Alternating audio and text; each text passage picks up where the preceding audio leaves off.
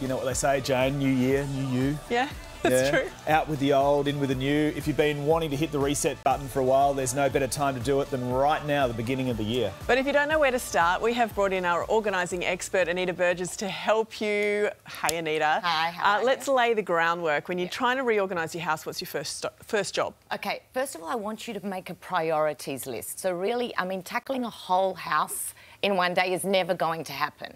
So, start off the year by getting a list and writing out the main points that really make, you know, that uh, annoy you in the home. Like where it you're might be the lacking space, yes, or- but also the clutter, Yeah. the, the the places that breed clutter, like the entranceway, the junk drawer, The, dining room the table. The dining room table. So actually, if you write it junk drawer. down, it gives you more of a list and like you have more goals to, you know, Okay. it just breaks it down into bite-sized pieces instead of saying, I'm going to declutter the whole house this year. So I'm the sort of person who just shoves it in the drawer, just closes it and forgets about it, you know, if, out of sight, out of mind. Um, so what sort of tools have you brought in to help us? Okay, you really only need these tools to start off. You need to get some good boxes, okay? So good boxes because they will help you sort, categorise, contain, and you can also use them as organising solutions. Okay. These you can pick up for about, I think, 20 bucks from Officeworks, a packet of six, which is really good. Okay. The other things I really want to talk to you about is drawer dividers. Now, you were just saying that you I love a drunk, junk drawer. junk drawer, but you just shove the drawer so you don't have to see it. One drawer can actually become three categories with some simple drawer dividers. okay, I'm not joking. This is a life-changing, life-changing, game-changing when it comes to dividing up your drawers. So instead of having a sock drawer, Yep. an undie drawer, you can have socks, undies, singlets, bras, all in one drawer with a simple divider, and you can grab it on my Amazon store. So I might even send you some.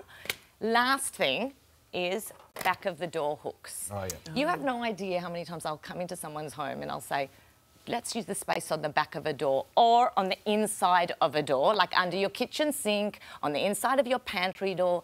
This is golden real estate. So say, for example, if you wore a pair, you know, uh, clothes for only like an hour in the afternoon, you came home from work, does it go in the wash? Does On it go floor. back in the cupboard? it goes on oh, the it floor. goes on the back of the door. man. So these are the little solutions that, first of all, it will help you save Yeah. on space and keep you organised, but also save your time when you're trying to find Very things. handy, that one. I love this. This is actually on the back of my bedroom door. I took it off this morning. Now, we just saw you practicing a quick towel fold. We Yes. don't have much time, but if you can just quickly show us It how was you made glorious. okay, the towel I'm going to so show fancy. you two quickly, okay? So this will save space in the linen Save cupboard. space. And also, what I like to do is if you've got a family, for example, and you've got Check kids out, in the Jane. house, Take okay, you can separate the towels, so it's adult towels or um, kids' towels, quite easily this Here way. So you do it in half. Then you're going to bring in, oh, this way.